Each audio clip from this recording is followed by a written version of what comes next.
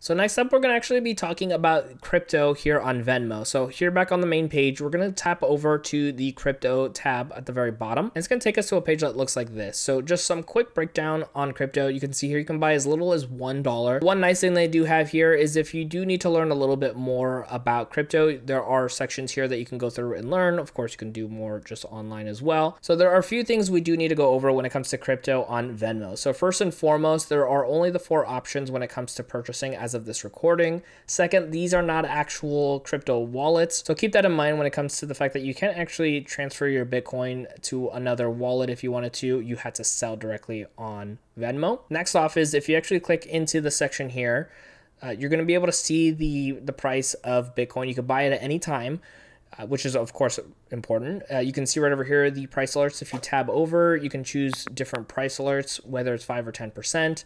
Uh, but the other really important thing is if we click on buy here, let's go ahead and say that we want to buy it as low as that $1. So once we put in that $1, this is what it's going to bring up for us, and this is what we want to pay attention to. It's going to show you how much you're buying, the exchange rate, the price. So you can see right over here, the transaction fee is going to be 49 cents to buy $1 worth of Bitcoin. So that is going to be pretty expensive when it comes to being able to go through that process. Now, the more you're buying, the less that fee is going to be overall. So we can go ahead and show you here.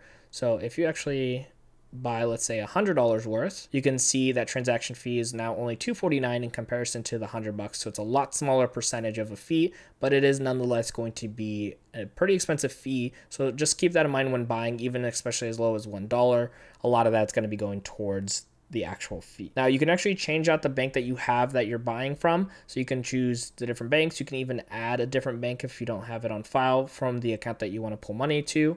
And then once everything looks good, you can click on buy Bitcoin and then it'll be in your account. But again, it is only going to be strictly on Venmo, so you cannot transfer that out. Same thing is going to apply for Ethereum, Litecoin, and then Bitcoin Cash as well.